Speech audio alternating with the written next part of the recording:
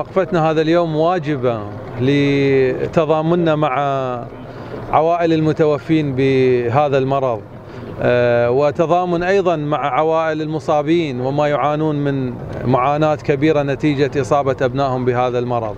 اليوم هذه الوقفة أيضا هي وقفة عرفان للعاملين بكل مسمياتهم، للمؤسسة الصحية والطبية في العراق التي هي خط الصد الأول التي تواجه هذا المرض الخبيث والشرس بكل ما تمتلك من قوة من إمكانيات. قررت الحكومة المحلية في محافظة صلاح الدين بالتعاون والتنسيق مع قيادات العمليات وقيادة شرطة محافظة صلاح الدين على هذه الوقفة تضامنا مع ضحايا هذا المرض ما في آه، القطر وبذلك آه، نشكر القطاعات الأمنية على هذه الجهود الجبارة التي بذلتها بحيث جعلت صلاح الدين خالية من هذا الوباء. تنفيذا لتوجيهات مجلس الوزراء الموقر آه، من خلال حقيقة ما صدر اليوم بيان ب يعني إقامة وقفة في صلاح الدين تضامنا مع عوائل ضحايا فيروس كورونا في العراق وتثمينا للجهد الكبير الذي بذلته القوات الأمنية